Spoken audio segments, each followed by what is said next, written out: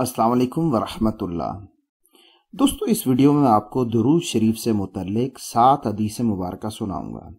इन हदीस को सुनने के बाद आपको पता चल जाएगा कि एक बार दुरूद शरीफ पढ़ने की क्या फजीलत है, दस बार दुरूद शरीफ पढ़ने की क्या फजीलत है, और सौ मरतबा दुरूद शरीफ पढ़ने की क्या फजीलत है।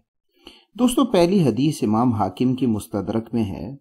उसमें यह है कि जो मुझ पर एक बार दुरूद शरीफ पढ़ेगा तो अल्लाह ताला उस पर दस रहमतें नाजिल फरमाएगा, उसकी दस खताएँ माफ़ फरमाएगा और उसके दस दर्जात को बुलंद फरमाएगा।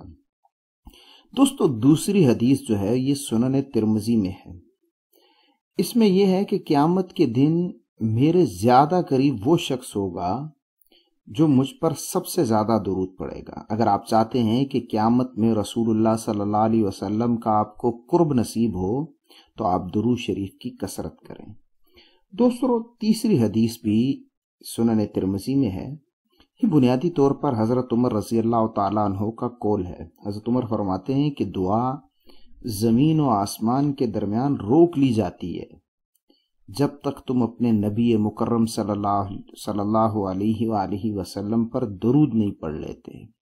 दोस्तों, अगर आप चाहते हैं कि आपकी दुआएँ कबूल हों तो फिर दरूद शरीफ पढ़कर दुआ किया करें।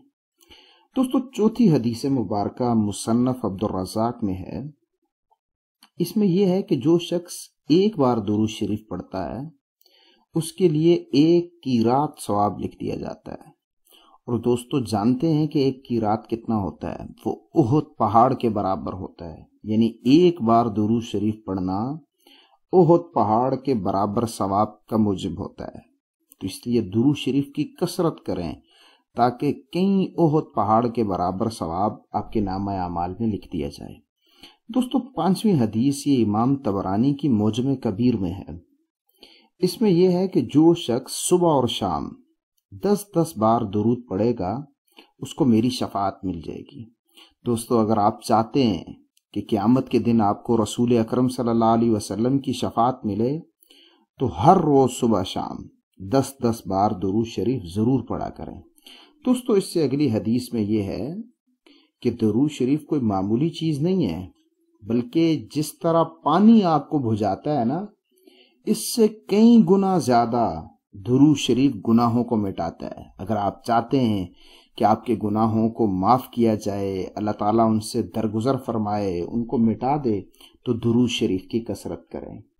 और दोस्तों, आप जानते हैं कि अगर कोई शख्स एक दिन में सौ बार दुरूद पढ़ता है तो उसको क्या फ़ायदा मिलता है? दोस्तों, एक रिवायत में आता है कि जो शख्स मुझ पर एक दिन में सौ बार दुरूद भेजता है तो उसकी सौ ज़रूरतें पूरी की जाती हैं। अगर आप चाहते हैं कि आपकी ज़रूरतें पूरी हों तो हर दिन कम अज़ कम सौ मरतबा अपने नबी मुकर्रम सल्लल्लाहु अलैहि वसल्लम पर दुरूद शरीफ ज़रूर पढ़ा करें। दोस्तों, ये दुरू शरीफ की फजीलत आपको कैसी लगी कमेंट में बताइएगा। और मज़ीद ऐसी वीडियोस देखने के लिए हमारे चैनल को ज़रूर सब्सक्राइब करें। मिलेंगे अगली वीडियो में। असलकम वरहमतुल्लाह।